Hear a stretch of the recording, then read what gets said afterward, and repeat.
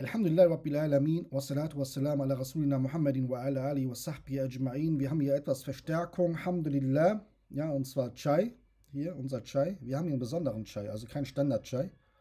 Diejenigen, die halt Chai gerne trinken, können sich gerne bei mir melden. Ohne Farbstoff, sehr wichtig, ja. Also unser Chai, was wir kaufen immer, schmeckt richtig lecker. Ähm, also schmeckt auf jeden Fall leckerer als die ganzen anderen Chai. Ja, weil da gibt es ja viel, also Farbstoff, also mindestens 50 Prozent, Allah alle, ist äh, mit Farbstoff, aber hier die, was wir trinken, ohne. Deswegen auch ganz andere Farbe. Sieht auf jeden Fall, Alhamdulillah, lecker, also ziemlich lecker. Man schmeckt es auch raus, man schmeckt es wirklich raus. So, wir haben letztes ein Video gemacht, da haben wir nochmal aufgezeigt, dass der Esel jetzt sich verwandelt hat in einem, in einen, einen, einen Affen. Affen. Wir werden ihn nicht mal Esel nennen, sondern Chitenso, Cheetah oder Makaka. Das aus dem Grund auch allein, weil er sagt, er sieht aus wie ein Affe. Er sagt, er sieht aus wie ein Affe. Nur aus dem Grund. Das heißt, er hat selber bestätigt, dass er ein Affe ist, weil wir sehen nicht aus wie Affen. Aber wenn er sagt, er sieht aus wie ein Affe, dann werden wir ihn in Zukunft, inshallah, so Allah will, Affe nennen. Cheetah, Chitenso, ja, Makaka. Es gibt mehr, hat mehrere Namen, Yani. Mal gucken. Irgendeinen Namen suchen wir uns aus. Ja, und äh, werden ihn inshallah dann so bezeichnen, weil er immerhin sagt selber, dass er wie ein Affe aussieht. So, also Esel hat sich verwandelt in einen Affen. Chitenso, Makaka, Cheetah, ja, was auch immer, Allahu alam. Aber auf jeden Fall äh, im letzten Video haben einige Schiiten unter Kommentare reingeschrieben, also YouTube unter Beschreibung, äh, Kommentare. Ja, guck mal, es gibt so viele Skelette und so. Adam kann nicht der erste Mensch sein. Ja, Subhanallah, das zeigt einfach, dass diese Menschen wirklich richtig verlogen sind. Also Schiitentum. Ich habe mal gedacht, das ist eine Religion. Wallah, ich habe mal äh, etwas respektiert, aber mittlerweile kein Respekt mehr. Es gibt wirklich äh, von diesen Arten von Schiiten zu viele Dumme zu viele äh, kranke Menschen, die den Koran, den Propheten, den Koran, ja, den Mushaf widersprechen und die wollen beweisen, dass der Koran nicht die Wahrheit sagt, dann kommen die irgendwie an und sagen, wo steht denn geschrieben Adam, der erste Mensch? Ja, das haben wir doch schon aufgezeigt. Was wollen wir noch aufzeigen? Wenn Allah subhanahu sagt, dass er Adam erschaffen hat und dass er die ganze Menschheit von Adam kommen, dann ist es der erste Mensch. Wir können eins plus 1 rechnen, das ist 2. 1 plus 1 ist nicht 100 oder 1000, ist immer 2. Und wenn er sagt, dass wir alle unsere Vorfahren Adam ist, dann kann man nicht sagen, nee, davor gab es auch noch Menschen. Weil wir werden ja als Mensch bezeichnet. Ne? Als Mensch bezeichnet. Man kann es sagen, vorher gab es Menschen, wenn Allah im Koran diese Sache gar nicht erwähnt.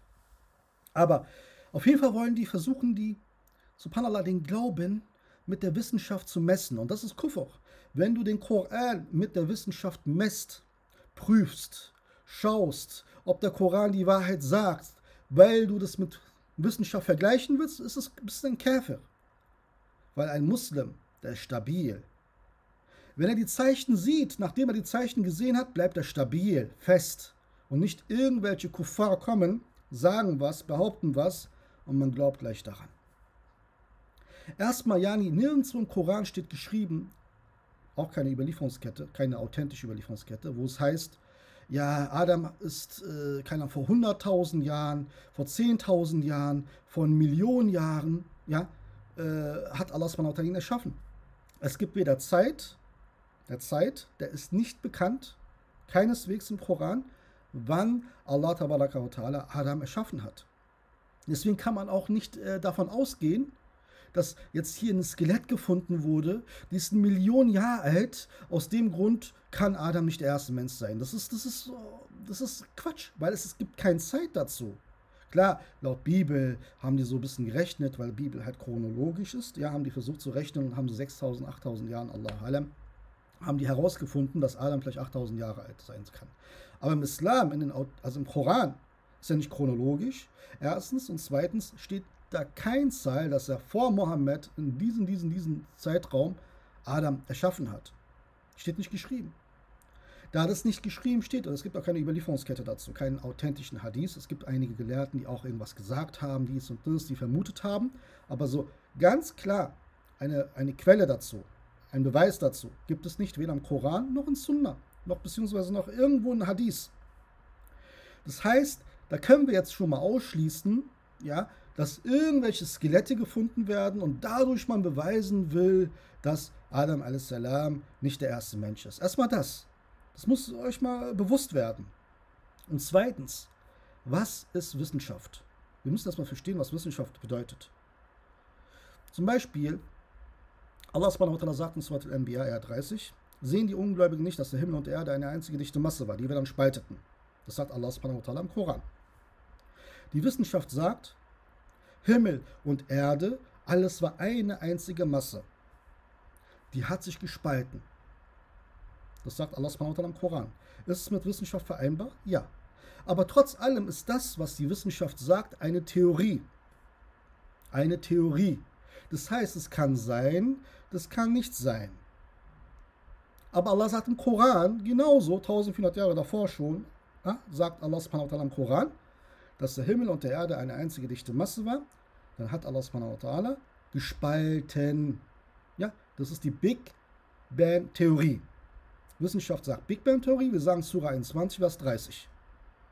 Ja, Surah al-Anbiya, Ayah 30, so einfach ist es.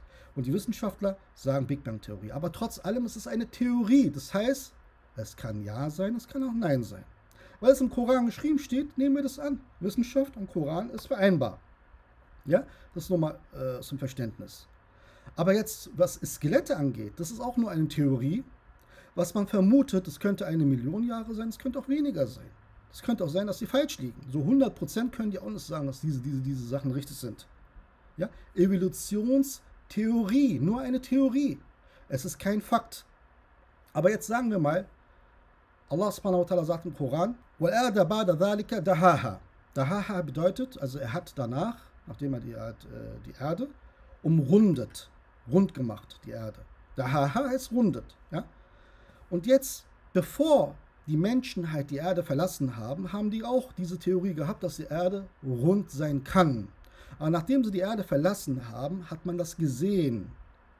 Und dass die Erde rund ist und nicht Scheibe. Rund und nicht Scheibe, das haben die gesehen, wann? Nach, also es war erstmal eine Theorie gewesen. Die Wissenschaftler haben gesagt, ja, so könnte es sein, also Erde ist rund. Und manche haben gesagt, nein, das ist Scheibe. Da gab es halt äh, Ichtilaf, ja, die Meinungsverschiedenheit unter den Wissenschaftlern. Aber nachdem sie jetzt, Allah subhanahu wa sagt im Koran so oder so schon, dass die Erde wie ein Ei ist, ne? wie ein Ei ist, das äh, schreiben hier Geschwister, wie ein Ei ist, sagt Allah subhanahu wa schon so oder so im Koran. Ja? Aber